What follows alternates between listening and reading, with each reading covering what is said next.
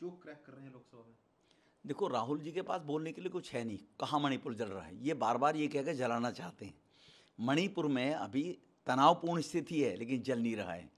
और ये चाहते हैं कि 1966 के अंदर, मिजोरम के अंदर वायुसेना की आर्मी के द्वारा अटैक किया गया और ऊपर से गोले बरसाकर हज़ारों लोगों की हत्याएँ करवा दी थी कांग्रेस ने इंदिरा जी के समय में।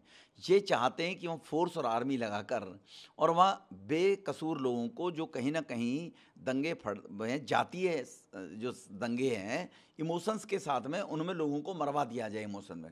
कांग्रेस ये चाहती है जिससे मोदी साहब बदनाम हो जाएँ। मणिपुर में कहीं कोई नहीं चल रहा है। मणिपुर में बफर जोन बना दिए गए कोई घटना घटती है, किसी का घर बर्बाद होता है, बच्चे चले जाते हैं, परिवार का उसके अंदर दुख रहता है, उस जख्म को भरने में टाइम लगता है। तो इसीलिए राहुल के पास कुछ बोलने के लिए है ही नहीं। नौ साल से मोदी जी सरकार चला रहे हैं। आप बताइए ना मोदी साहब के खिलाफ कि ये भ्रष्टाचार हो गया, ये करप्शन हो गया, ये दुर्भावना हो गई।